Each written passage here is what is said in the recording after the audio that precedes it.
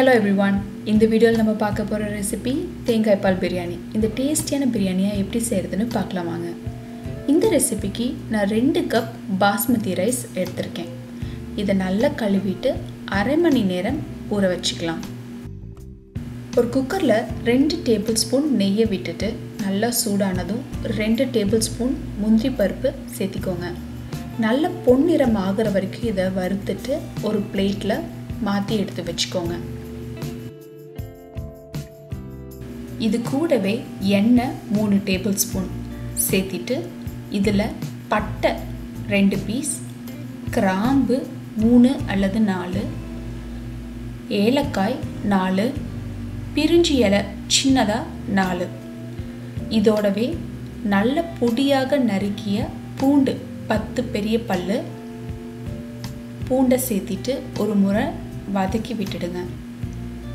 இதோடவே பச்சை மிளகாய் ஒரு கப் அரிசிக்கு அஞ்சு பச்சை மிளகாய் சேர்க்கணும். நான் இங்கே ரெண்டு கப் எடுத்திருக்கனால பத்து பச்சை மிளகாய் கீறி விட்டு சேர்த்திருக்கேன். இதை ஒரு வாட்டி வதக்கிட்டு இதோடவே ஒரு பெரிய சைஸ் வெங்காயத்தை பொடியாக நறுக்கி சேர்த்திருக்கேன். வெங்காயத்தோட கொஞ்சம் உப்பை சேர்த்தி நல்லா நிறம் மாறுற அளவுக்கு வதக்கி விட்டுருங்க.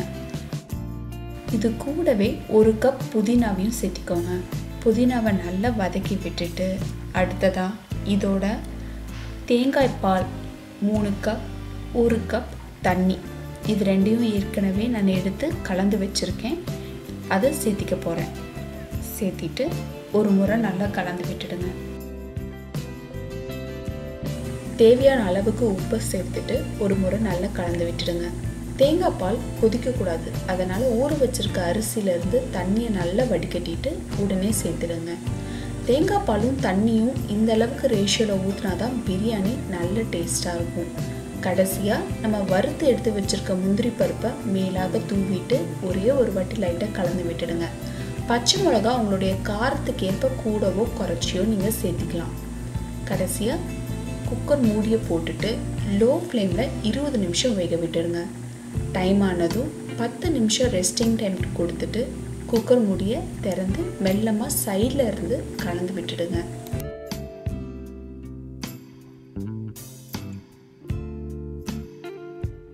அவ்வளோதான். சுவையான தேங்காய் பால் பிரியாணி ரெடி இதை உருளைக்கிழங்கு பட்டாணி குருமாவோட பரிமாறும் போது இன்னுமே டேஸ்டியாக இருக்கும்.